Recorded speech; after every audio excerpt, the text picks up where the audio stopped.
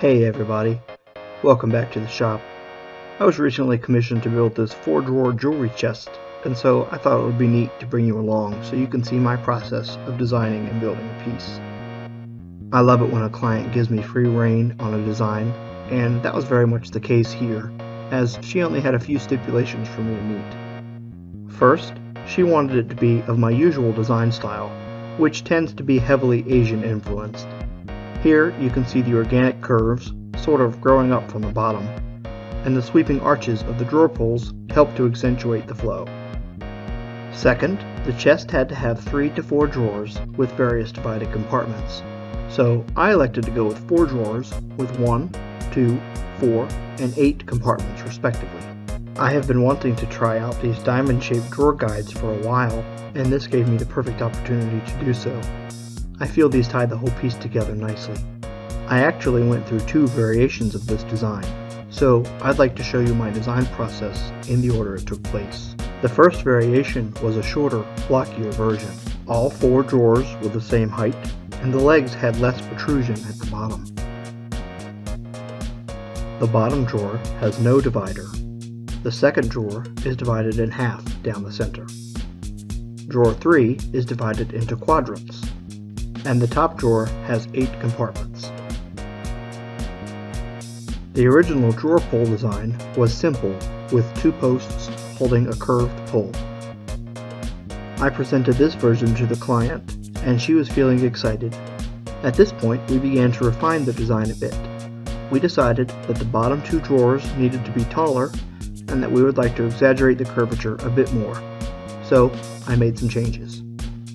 Now the chest has two larger drawers at the bottom, and the drawers at the top remain the same. The legs have been widened to allow for exaggerated curves, and I felt this called for more leg protrusion at the bottom to balance the curve with the visual foundation. I also changed the bottom crossmember to an arched profile which gives the chest a lighter, more elegant look. The change that made the biggest impact was the drawer pulls. This variation has opposing arches that flare out from each other and share two central posts.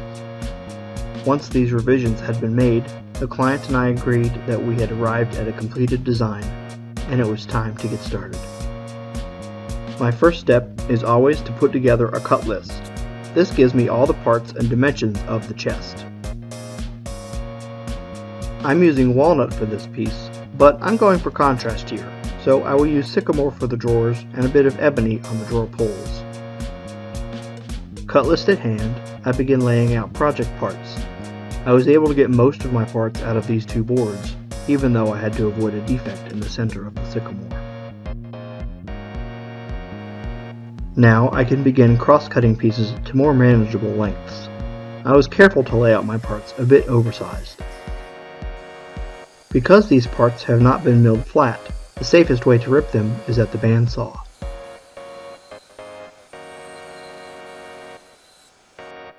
With the parts now cut to rough size, I will begin milling them flat and square. The jointer gives me two flat faces that are square to each other.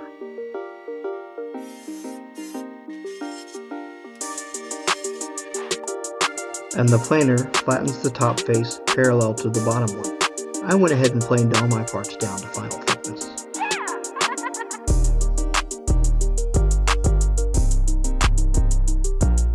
I now have all my stock milled on three sides. Next, I will use my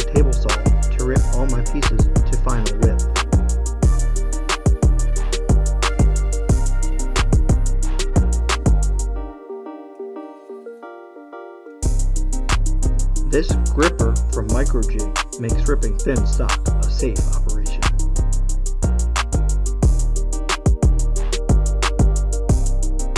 I use the crosscut sled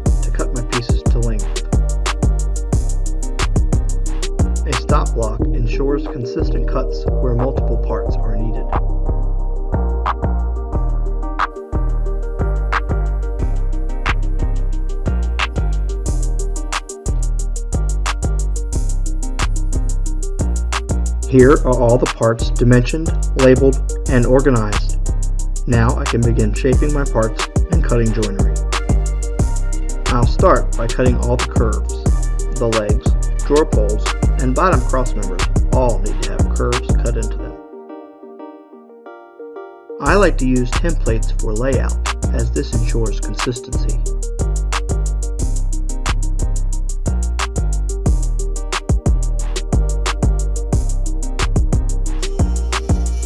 Scroll saw works well for the cuts, and I have mine set up at a comfortable height. Because the pencil lines can be tough to see on a walnut, I added a task light. I use my 1 inch belt sander to fair the curves to the layout line.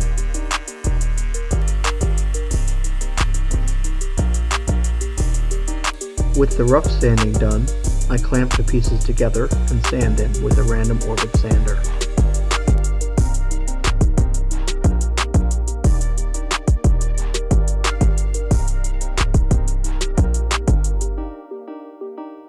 Now it's time to start working on the case joinery. Each leg will receive four 45 degree notches for the diamond drawer guides to attach. I use my template once again to line up my cuts. Once I find the proper alignment, I add a stop block for repeatability. Once I have the first four cuts made, I flip everything around to cut the second half. Here I have the legs on the crosscut sled and am cutting each side of the dado at the bottom. This will receive the curved bottom cross members. With both sides cut, I remove the stop block and clean out the center.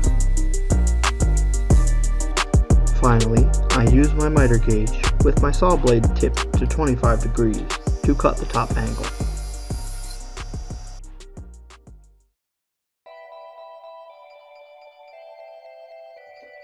The top of the leg needs a notch bisecting the leg at a 45 degree angle to receive the top panel. So, I outfitted my crosscut sled with a 45 degree V-block.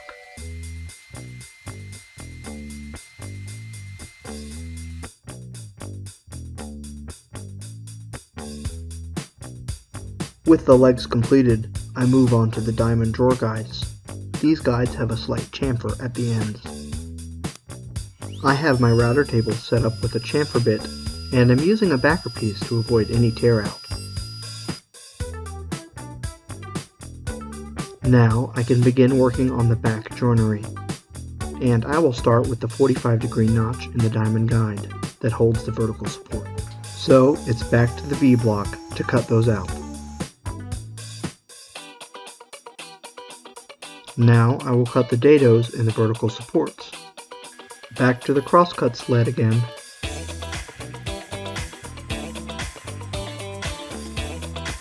Finally, I used the belt sander again to round over the ends of the horizontal supports.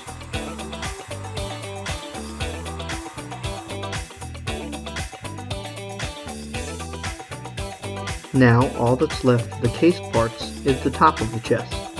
I went through my stock and found this beautiful piece of walnut. First, I planed it down to half inch thick.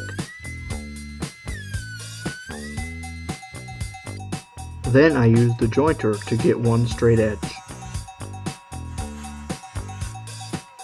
At the table saw, I ripped the top to final width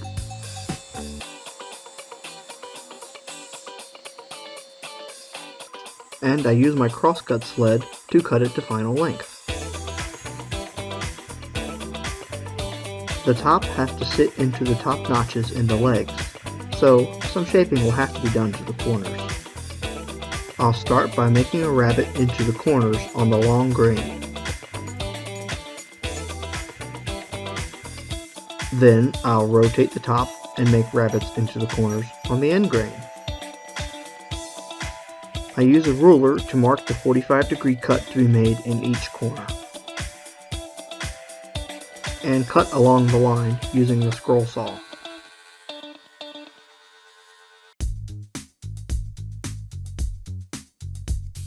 I set the router up with an 8th inch roundover bit to ease the sharp edges.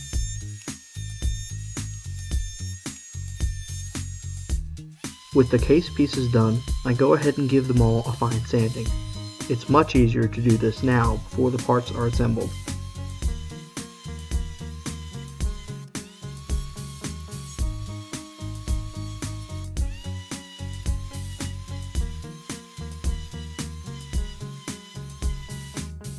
It's time to start assembling the case.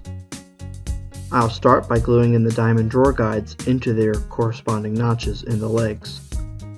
I am careful to line up the drawer guides so they are proud of the legs on both sides by 7 16ths of an inch.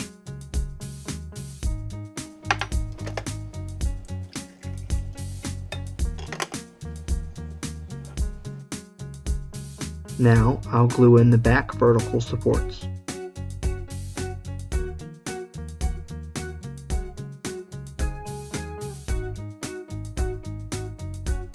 And then it's on to the main case assembly.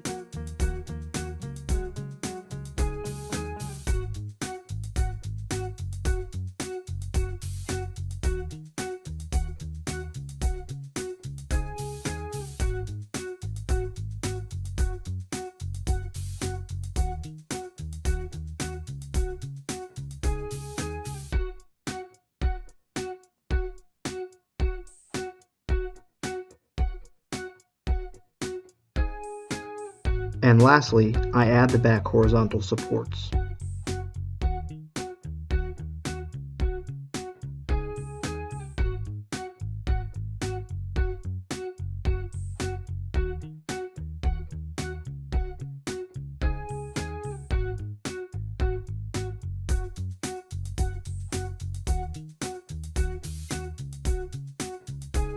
Yep, that's enough clamps. While the case is drying, I'll move on to the drawers. The drawer fronts are thicker than the backs and sides. So, the first step is to cut the fronts to final length. Then I tip the blade to 45 degrees and use my miter sled with a stop block to cut the miters in each end. I have set this up so there is 1 8 inch of material left above the miters. This is where the drawer fronts will get a chamfer detail later. Next, I move on to the drawer back miters. First, I cut a miter on one end. Then, I set up a stop block and spin the pieces around to cut the other end. The drawer sides are done the same way.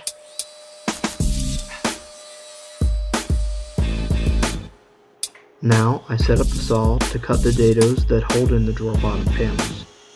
I make an initial cut. Then I move the fence over to widen the cut. And I sneak up on the perfect fit. Now I will go ahead and cut the drawer bottom panels. I'm using 3 16 inch plywood for this.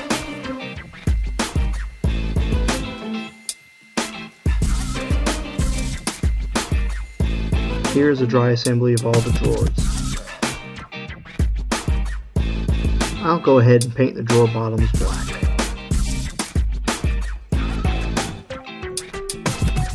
Now, before gluing the drawer together, I still need to cut the dados in the drawer pieces that will receive the dividers later. This is simple enough. I just set up a crosscut sled with stop blocks and cut out the dados. Now it's time to glue up the drawers. Because this is end grain, I apply glue, wait a bit for the glue to soak in, and then apply glue again.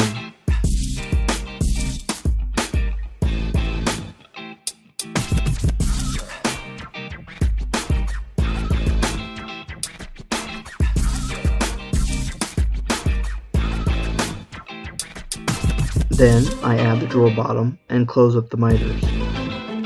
Painter's tape is all the clamp I need here.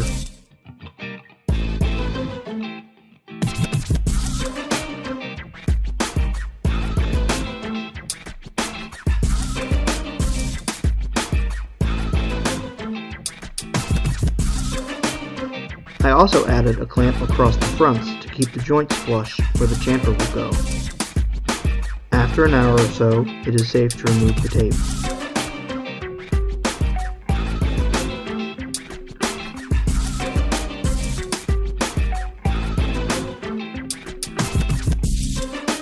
I use a sharp chisel to slice off any glue squeeze out.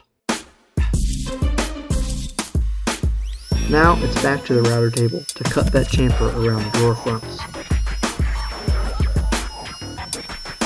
These chamfers really help to define the drawers. The drawer dividers go together with half laps. So I will use the drawers themselves to lay out the cuts. First, I make a mark along the tops of the dividers using a ruler for alignment. Then, I use a saddle square to transfer the lines to the face of the dividers. And, with my saw depth set for halfway, I simply cut out the areas in between my pencil marks. I'll give the dividers a final sanding now.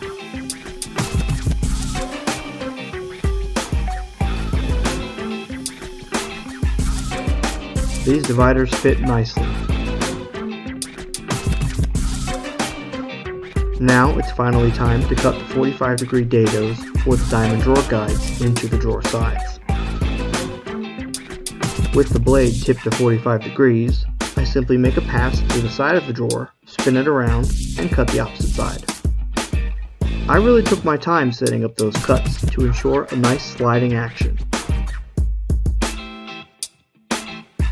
The last thing to do for this build is to make the drawer pulls. These will complete the look of the piece. I will start with the ebony posts. I've cut up some ebony pen blanks for this. Using the same router setup from before, I formed the small chamfer around the ends of the pen blanks. Then I head over to the crosscut sled to cut them to final length. Now I begin cutting the small tenons on the back end of the posts. The first pass establishes the shoulder, and the second pass removes the rest of the waste. Then I make the first of two passes to cut the dados that will receive the posts, and the second pass. Here are the posts all complete. They fit nicely with the pulls. Next, I will cut the angles on each end of the walnut drawer pulls. I use my miter gauge with a stop block.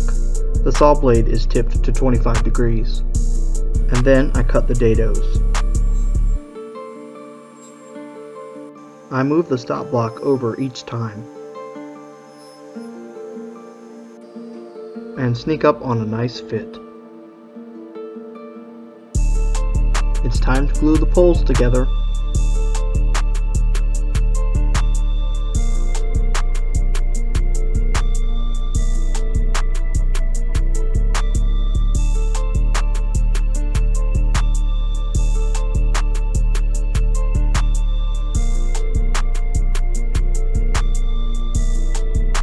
I begin laying out the mortise locations on the drawer fronts.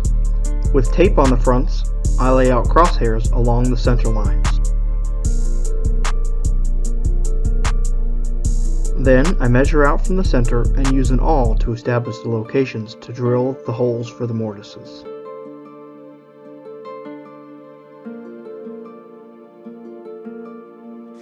I drill a 5 32 of an inch hole in each mortise location.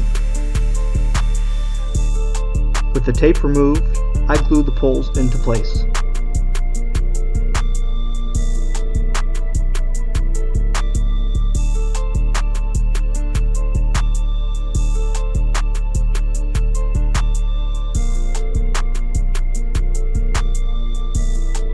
And the last step is always my favorite, branding my work.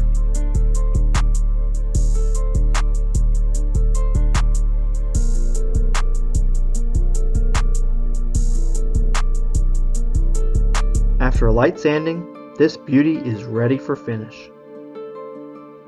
Because these woods are figured and have a lot of contrast, I'm just looking for clarity with my finish. I don't need to dye or tone anything so I'm just going with a wipe-on polyurethane. I use a brush to reach into the hard-to-reach areas and a bit of cotton cloth for everywhere else. This walnut really pops.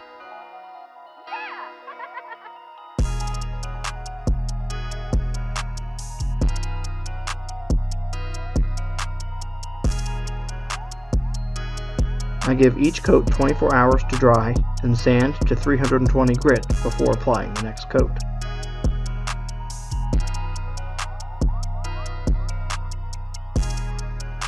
By the fourth coat, there is a nice sheen.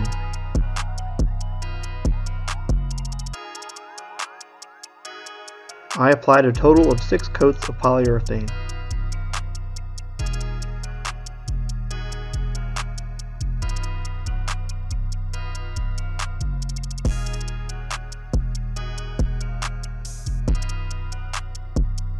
Once the final coat of finish is dried, I apply paste wax to both the drawer sides and the diamond drawer guides.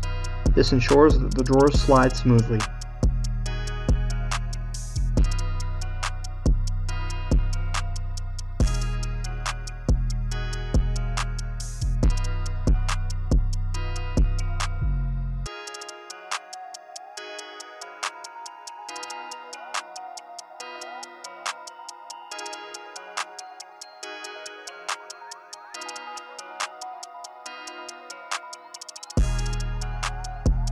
I'm really pleased with how this piece turned out, and my client is very happy as well. Thanks for coming along with me on this journey. I find seeing a piece through from design to finish to be extremely fulfilling, and it's just one of the many reasons I love what I do. Take care everybody. I'll see you next time.